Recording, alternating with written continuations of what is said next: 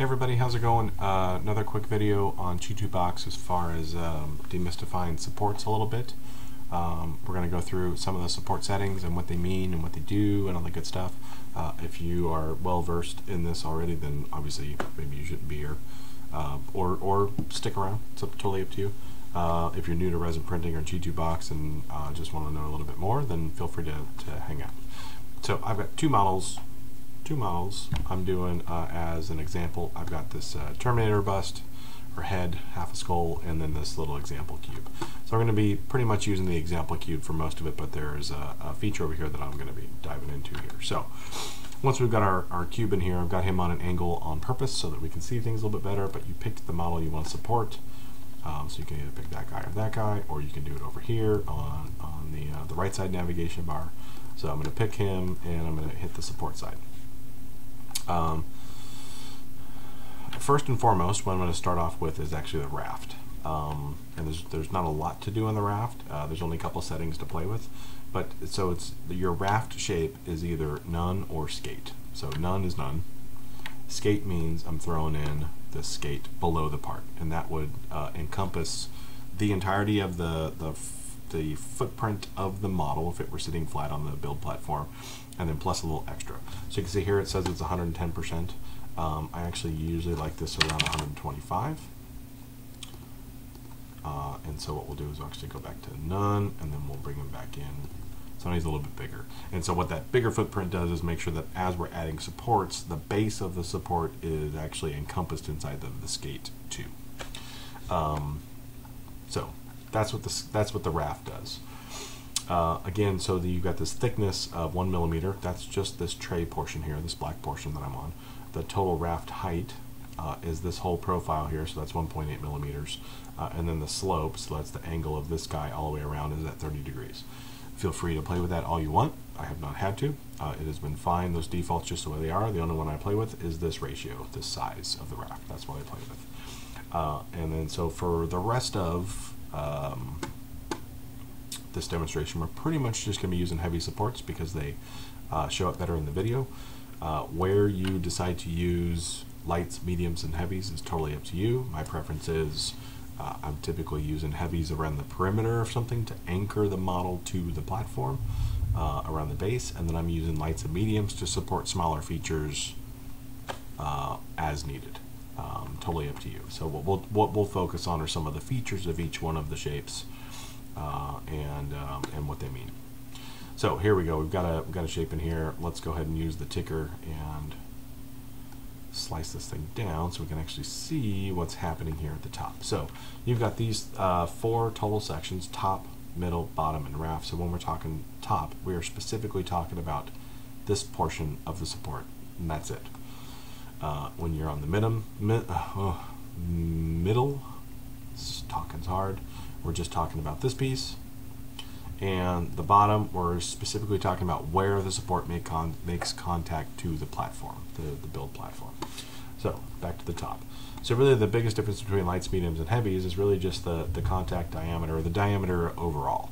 So on a light, you can see the contact diameter is a half a millimeter. Uh, on medium, it's uh, 0.8, and on a heavy, you're at a you're at a one millimeter.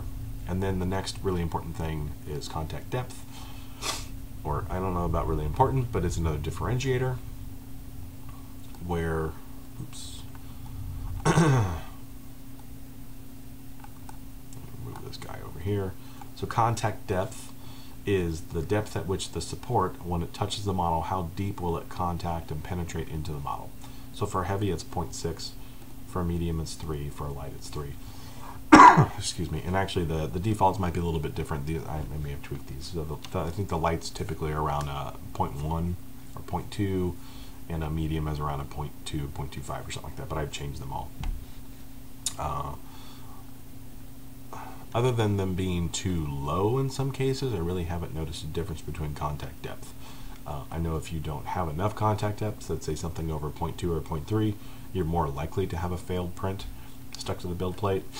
Um, and all I can think too is that there must be some black magic going on because as you look at the preview for your slice and you're looking at your slice layers up and down where the supports actually make contact, there doesn't appear to be any difference between uh, it doesn't differentiate what's a support structure versus what your what your model body is. It's all it's either it's either black or white. It's literally black or white.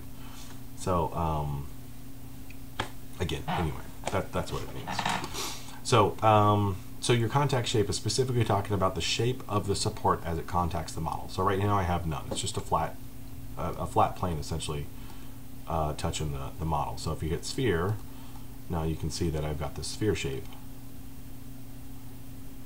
And that's what's making contact. And I broke my own rule, so let's go back to a heavy. And sphere. You can see that the contact shape is a sphere.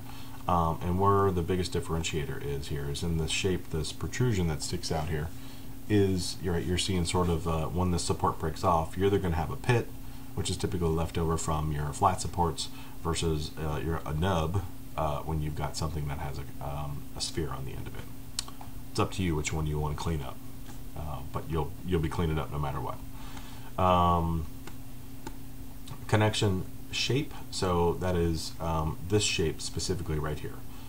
Um, so let's let's remove all of these just to make this a little bit easier. So if we say the skate shape, you've got four sides, um, and then you've got pyramid shape.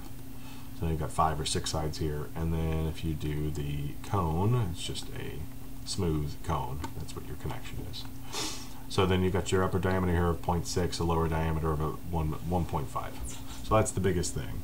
Um, and then this connection length at 3 millimeters, that is the length of this cone, let's say in this case, so if you change it to something crazy like 13 uh, and did that, now you've got this uh, crazy big top portion here. I don't know why you'd ever want to do it, but that's why you do it. Or that's what happens when you do it. Um, the middle portion, let's go ahead and remove all of these.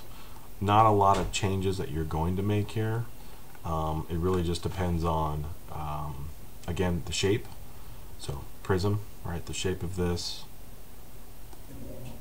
versus a cylinder or, or a cube. Um, your diameter, I believe, is the base down here. Your total diameter base, where before it touches the bottom. um, so anything from, from right there to right there, that's your middle. Um, and then your um, your angle, so the angle at which this can contact your top piece at 70 degrees. Uh, you can change that. You can make it 90, you can make it 20, you can make it whatever, and that's really just going to dictate what this angle is between your middle section and your top section. And then the bottom specifically is the shape of the bottom. So if we say skate, so these two are um, basically the skate shape. If we go back over here and say cylinder, so now we've got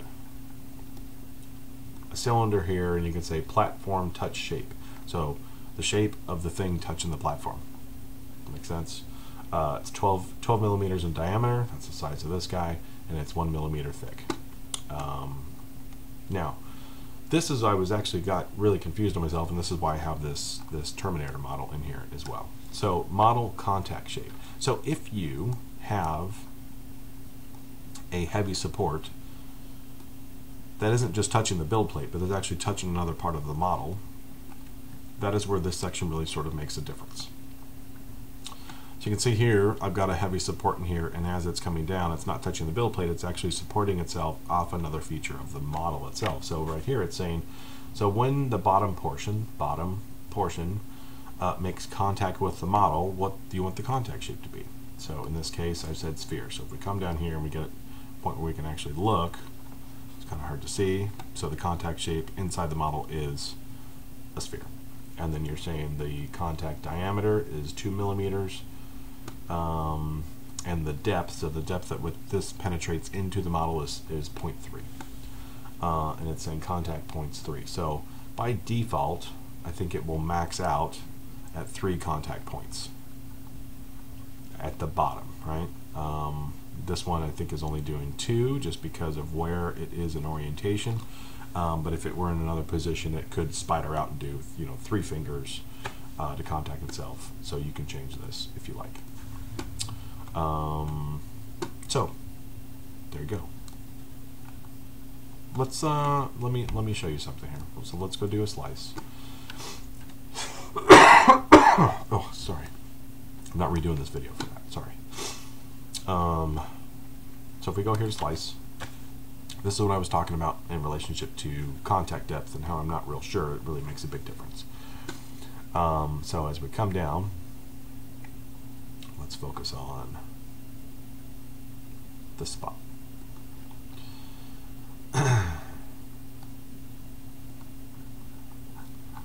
so you can see here, this is the slice we're looking at.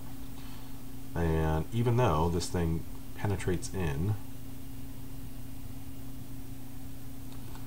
0.6 millimeters, there's no difference in the light, right? It's either black or it's white, literally. So it's the, the shape at which it's uh, con contacting the point.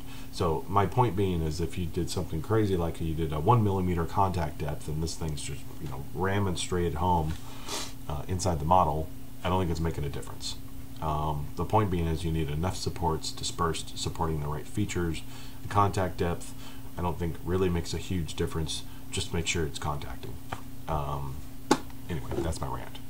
Uh, so have fun. Hope this was worth it. Um, thanks for sticking around. Talk to you soon.